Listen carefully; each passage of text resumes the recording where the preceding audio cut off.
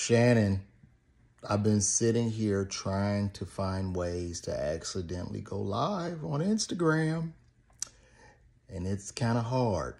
Like, you know, you have to go through about three or four steps, man. So I'm not too certain that uh, this wasn't intentional, unfortunately. And I'm not saying, listen, maybe it was. I'm, you know what? I'll give you the benefit of doubt. It was an accident.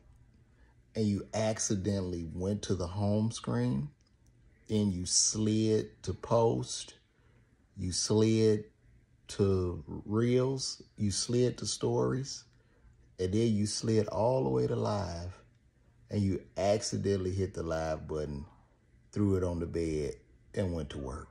And you was knocking the lining out of that. I'm gonna give it to you, big dog. You you got it. You getting that soup out of there though. Oh, you, oh, you, you that sound like you like that. The way you were doing that. But I don't know, bro. You gonna have to call me and show me how you accidentally went live. Maybe you could get in front of a, a crew, a group to show us exactly what happened. And as far as being hacked, listen, it ain't a hacker that smart in the damn world that can break into your shit and go live and sound exactly like you. Eh, eh, no, man. No, that's, I mean, shit, man. Come on, bro. Call me.